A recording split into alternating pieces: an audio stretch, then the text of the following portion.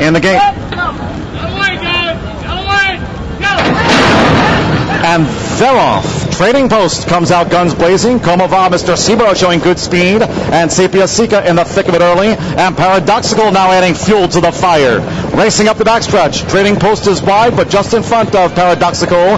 Sapia Sika, third of those long odds. Como Va, fourth. Mr. Seabra sprinted back to fifth. This Saw Boone is sixth. On the outside, running in seventh as they move past the half mile pole. Salt Miner, followed by that four year old newcomer, Proudest Admiral, who's last but two. Would I is one from the back, and Avenue Trolley is a wide last. The opening quarter into the teeth of the breeze, 22 and 4. A robust pace now with under three to go. And it's Trading Post from that high draw over toward those rails. Trading Post is in front by three, just above the quarter pole. Paradoxical, Sapia Sika under pressure.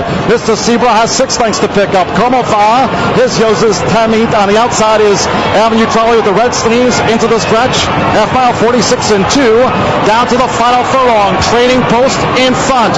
Holding on to the lead from Paradoxical and Sapia Sika now pitching away. Would I with a late gain at the rail. Mr. At one pace. Trading Post. Desperate moments now. Sapia Sika and the outside Paradoxical.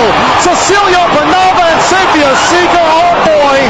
40 to 1. Sapia Sika. Here we go again. Paradoxical second, then Trading Post in Eye.